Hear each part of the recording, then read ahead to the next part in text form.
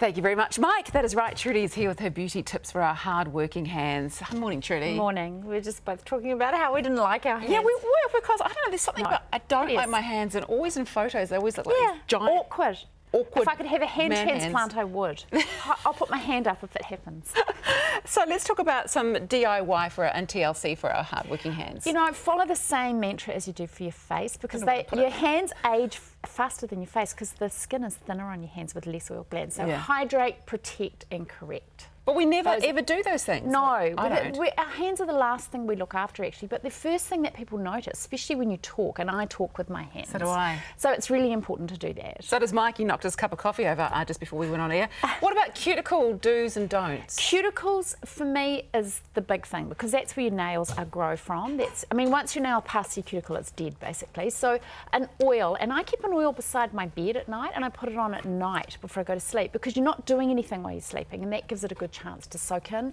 Um, olive oil is amazing. Coconut oil is amazing. If you cook with those things, you know, and they're in your hands, instead of washing them off, just massage them into your nails mm. while you're cooking. Nice. That's what I do. What about for your whole hand? Are you more of an oil or a moisturiser fan? I tend to go for a balm, and I bought a few things in, in option-wise um, because a balm tends to have oil and a moisture mixed, and the oil nourishes your nails while the moisturiser hydrates your hands.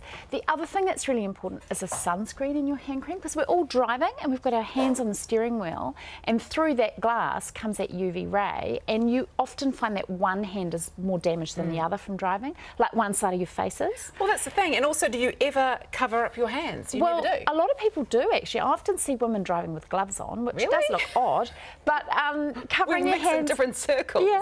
The other thing is you look at um, young mums' hands, and they always look a bit red and a bit dry because they're always in water. You know, water extremes aren't good for your hands. Mm. Too hot is really drying. Too cold actually constricts the capillaries and makes them a bit red. Yeah. So wear gloves, obviously, when you're doing laundry and washing up. I've got sailing hands, so they always look really, they're always calloused and sort of pretty. Hard-working. Yeah, they are. Um, what about our obsession with hand sanitizer? Is that good for it or not? Look, hand sanitizer is great if you need it. You know, I think a lot of people just use it for the sake of it. If you're using hand hand sanitizer a lot, you've got to moisturise afterwards because it's pure alcohol. Which yeah. dries out your cuticles, dries out your hands, ages your hands. So, if you're going to use sanitizer a lot, moisturise afterwards. Okay. Another little good tip is that we're all into these sheet masks, and I brought a couple in just to share with the team. Once you've taken it off your face, put it on the backs of your hands because it's still full of nourishing goodies. Um, instead of throwing it out, sit there for five minutes and put the rest, put them on your hands. So you give yourself a little DIY mask. That's an excellent idea. I like it. What about manicure trends? Oh, look, there's lots of them. At the moment, is less bling and more um, art. Um, metallic is huge. Um, metallic with a mix of mattes Beautiful. with different textures. Um, obviously, this is not something you can easily do yourself. Um, I think, you know, things like shellac have become really easy for women to do. Um, as I said, metallics, um, nail art is much more subtle than it once was, which I prefer.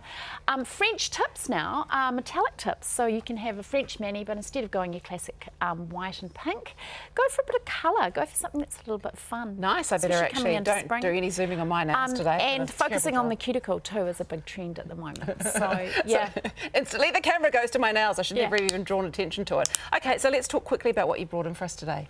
Okay, well, I bought in one of my favourite hard-working hand creams, like I said, a balm. Now, your skin is happiest when its pH balance is 5.5. So this is brilliant. Um, Sebamed Hand and Nail Balm.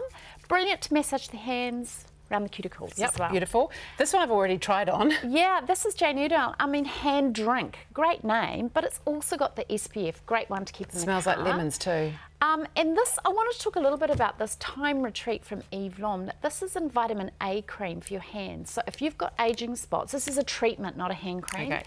Massage it into your hands, gets rid of those aging brown spots, which is And nasty. this one down here looks like And oil. this is your um, Sally Hansen cuticle oil, which is new as well. It's got apricot kernel oil, wheat germ oil. It's got a little brush in it. Just massage it in and away you go. Okay, you've got some gorgeous um, polishes there. Yeah, just again metallic OPI, the grease collection. This is great. Frenchie loves to kiss. I love a lilac. Beautiful. Instead of a pink, just a new twist on a new colour. Nice. Hey, thank you so much, Trudy. Always Absolute a pleasure. pleasure. Now, for more beauty advice from Trudy, head to her website, beautyeq.co.nz. My hands feel really nice, actually.